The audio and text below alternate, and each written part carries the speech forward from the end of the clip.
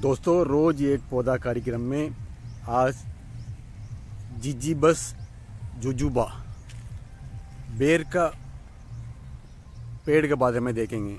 ये आप देख रहे हैं बेर का है, बेर का पेड़ है। ये बेर सब जगह लगा हुआ देख लीजिए।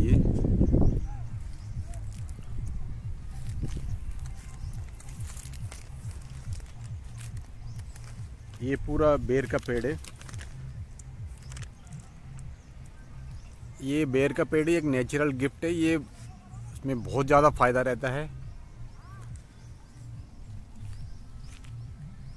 ये बेर ज़्यादा खाने से भूख अच्छा से लगता है। डाइजेशन अच्छा इम्प्रूव हो जाता है। सर्दी, खांसी ठीक होता है। इसमें कैल्शियम विटामिन सी ज़्यादा है इसमें। इसमें हड्डी मज़बूत होता है इससे।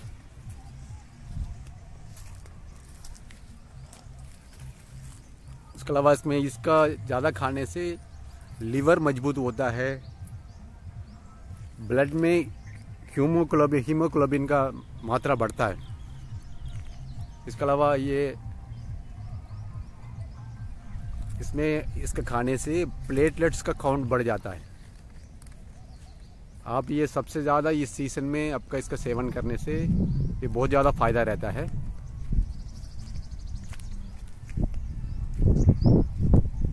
ये देख लीजिए ये सब बेर का ही ये बेर में भी आपका खट्टा मीठा देसी बेर मिलता है, उसमें बहुत ज़्यादा फ़ायदा रहता है। आजकल हाइब्रिड बेर ज़्यादा आ गया है मार्केट में, और ये खट्टा मीठा बेर ज़्यादा खा लीजिए, उसमें बहुत ज़्यादा फ़ायदा रहता है। इसका बेर का अलावा इसका बेर का पेड़ का ये पत्ती, उसका चाल, वो सब में मेडिकल प्रॉपर्टीज़ बहुत ज़्यादा है।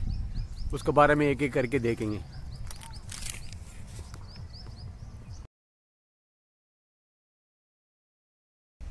दोस्तों, ये बेर को थोड़ा बहुत बेर लेके उसके साथ एक दो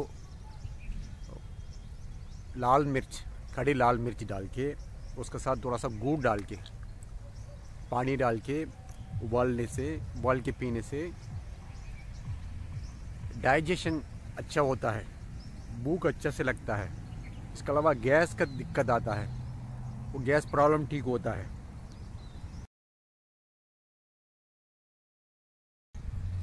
दोस्तों पाँच छः ये बेर ले लीजिए। ये खट्टा मीठा वाला देसी बेर अच्छा रहता है। उसी बेर को लेके उसके साथ थोड़ा सा सुंती का सूरन थोड़ा सा काली मिर्च, पानी डाल के, उबाल के, उसका साथ थोड़ा सा हनी मिला के पीने से कफ लंग्स में जमा हुआ कफ सब बाहर निकल जाता है। पित्त का मात्रा बराबर होता है।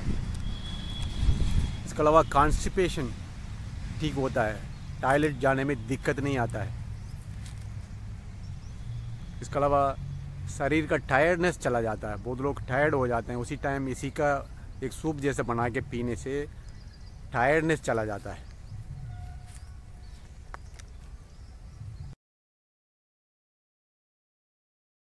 दोस्तों, ये जीजी बस जुजुबा, जीजी बस जुजुबा मिल्क कहते हैं। जुजुबे फ्रूट का नाम से भी इसका कहते हैं। बेर, ये बेर का पत्ती भी इसमें मेडिकल प्रॉपर्टीज़ बहुत ज़्यादा रहता है।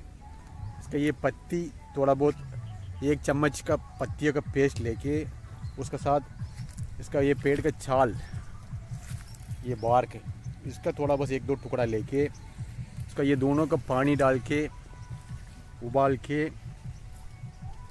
पीने से शरीर में बीमारी नहीं आता है। कोई भी बीमारी आने से वो रोकने में काम में आता है कामयाब होता है ये। इसके अलावा शरीर में टॉक्सिन सब बाहर निकल जाता है।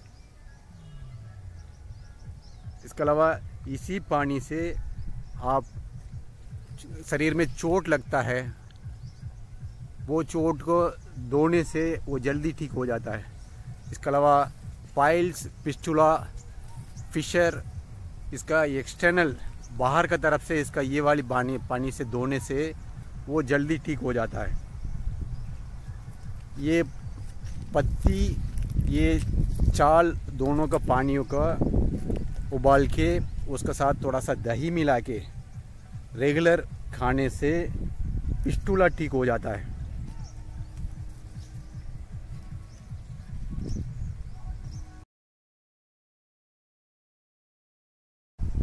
दोस्तों, ये देसी खट्टा मीठा वाली बेर आप सीज़न में एक दो महीने के लिए मिलता है। उस समय इसका आपका खाने से ब्लड प्यूरिफाई होता है। ब्लड ज़्यादा प्रोड्यूस होता है ब्लड ज़्यादा बनता है।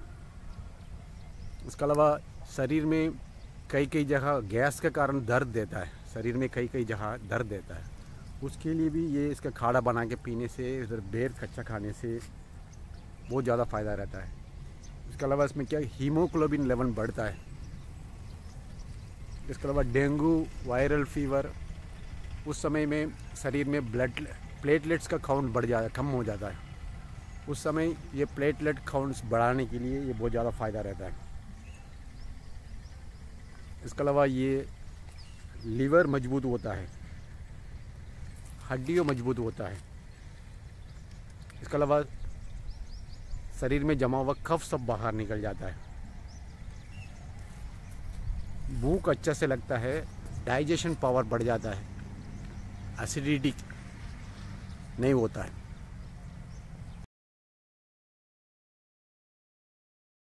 दोस्तों, ये बेर का पत्तियों का पीस के उसके साथ नारियल के तेल में डाल के धीमी आग में बॉईल करके उसी तेल को सर में लगा के आधा एक घंटे में नहाने से डैंड्रफ चला जाता है। यंग एज में बाल सफ़ेद हो जाता है, वो ठीक हो जाता है। इसके अलावा बाल अच्छे घने आता है। इसी के जैसे आप ये इसी पत्तियों का नारियल के तेल में डाल के बॉईल करके उसी तेल को अब शरीर में कहीं भी चोट लगता है, उसी जगह पे लगाने से जल्दी ठीक हो जाता है।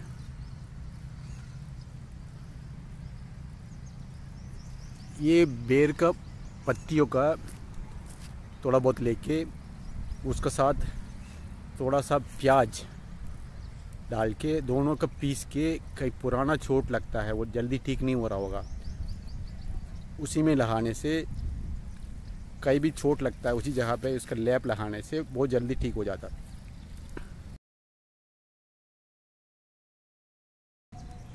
दोस्तों, ये बेर अब पूरा साल नहीं मिलता है।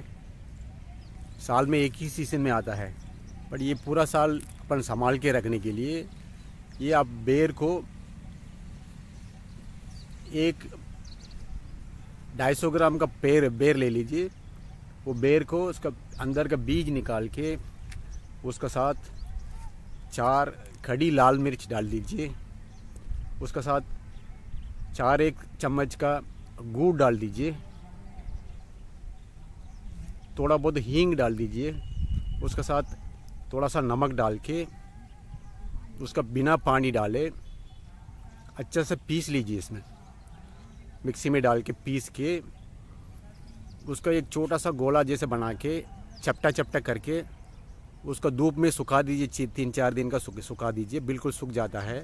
फिर उसको एक डब्बा में डाल के रख लीजिए। ये आपका पूरा साल में कभी ख़राब नहीं होता है। आप एक डब्बा में डाल के रखें कभी भी ज़रूरत पड़ता है, उस टाइम आप इसका खा सकते हैं। कभी भूख नहीं लग रहा है, कभी आपका पेट ख़राब लग रहा है, डाइजेशन नहीं हो रहा है, ज़्यादा खानी, खाना खा लिया, उस टाइम डाइजेशन नहीं हो रहा है, उस टाइम इसका एक एक वो बड़ा जैसे बना के रखा है, उसी का आप निकाल के खा लीजिए, वो बहुत ज़्यादा फ़ायदा रहता है इसमें। ये कभी ख़राब नहीं होता है, साल दो साल भी ख़राब नहीं होता है। दूसरा सीज़न में भी इसका काम में आ जाता है। इसका स्वाद खट्टा मीठा रहता है। इसमें vitamin A, vitamin C, calcium बहुत ज़्यादा मात्रा में रहता है। ये हड्डियों को मज़बूत देता है। शरीर में जमा हुआ सब टॉक्सिन सब बाहर निकल जाता है। सर्दी काची नहीं होता है। इसमें बहुत ज़्यादा फ़ायदा रहता है। इसलिए इसका आप ऐसे बना के आप संभाल के रख लीजिए तो पूरा साल यूज़ कर लीजिए। इसके साथ थोड़ा सा इमली डालना हो ना, आपके ज़रूरत के हिसाब से थोड़ा सा इमली डाल के भी आप बना सकते हैं, वो खट्टा मीठा अच्छा रहता है।